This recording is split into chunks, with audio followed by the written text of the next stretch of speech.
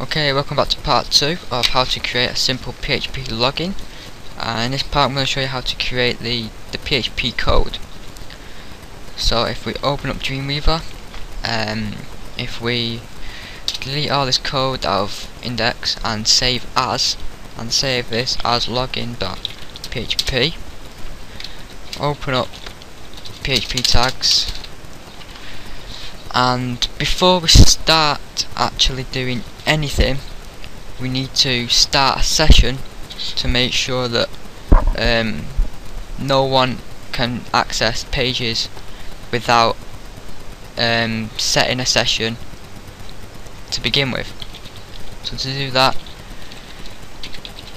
session underscore start that will allow no one without a session to be allowed to see the page. So now we need to get the username and passwords from the previous form. So username is going to be equal to uh, post and in that we're going to use the username from the last one. So this variable here called username which is a PHP is going to be stored as PHP it's going to get the what the user has entered in this username field. And the same with the password. So just copy and paste that down and change the two usernames to password. Right so now we've got the username and password we need to create an if statement now to see if the username and password match. So if so if the username and and is by two of the and symbols and password so if this value is true if they've both been if they've both been entered we can um, continue on down here so if they've both been entered I'm going to create another variable here. Uh, bring that up a bit like that. We're going to create a variable called connect and this is going to connect connect to the MySQL database you created in the last part. So from here we need to MySQL underscore connect and um, we need to create create the um, your localhost username and password in these speech marks here. So the first one is your localhost or the host of your database. The second one is your password and the third one I mean the second one is your username and the third one is your password. I haven't got a password set so I can just leave it as blank. So um, um, so now we've connected to it we can just create um, an error message here.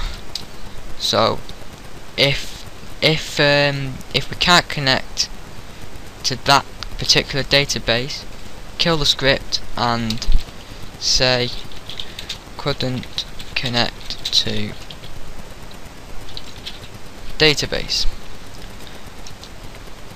Okay so now we need to create um, we need to select the um, uh, what what was it? The, the database the table sorry. So mysql underscore select underscore db and in here it was what we called uh, if I get it back up for you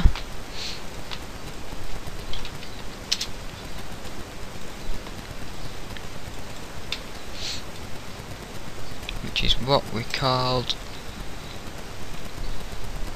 this here database which we called it as login. So here login and um, or die. If it can't connect to that login we're going to say or die. Um,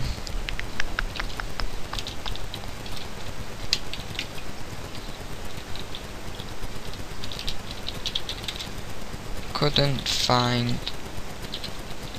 database so now we've connected to the database successfully uh, we need to create a query here and the, this query is going to equal mysql underscore query because uh, that's uh, what MySQL runs by. And in here we're going to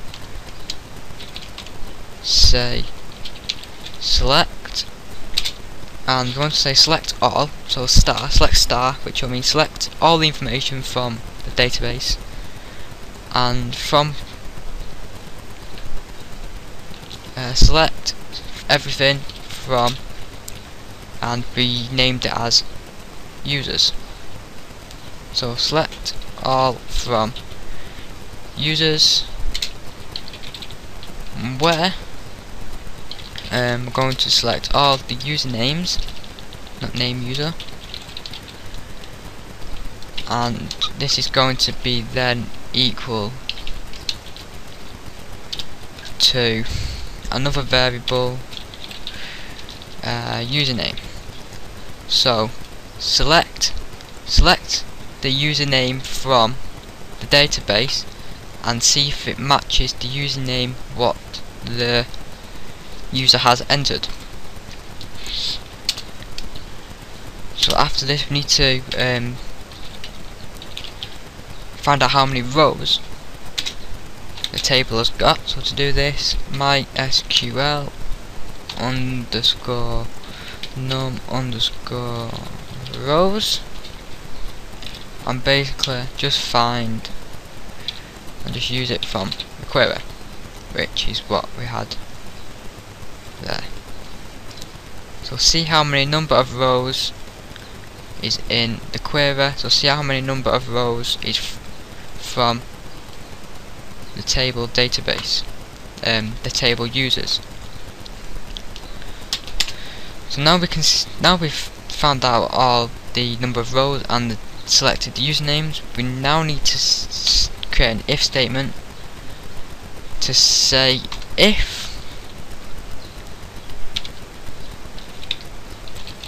if the number of rows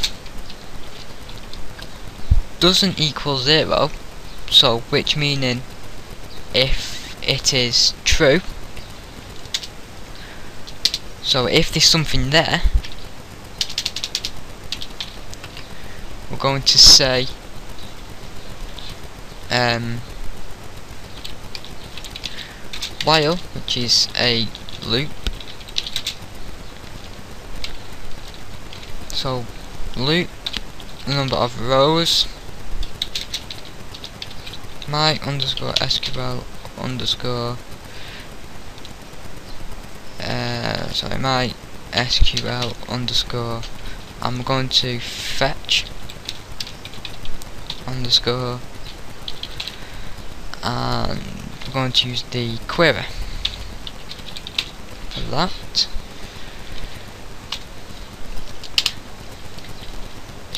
and in here now.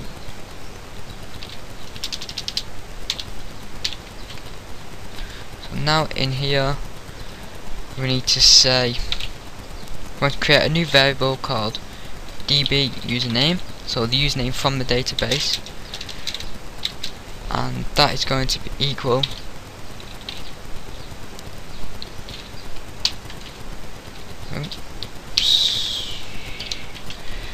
and that is going to be equal to the username the user has entered. And same again copy this down. And change db username to db password. And the same here. Password. Okay so I'm going to continue this tutorial in our part 3 so stick around for part 3 see you soon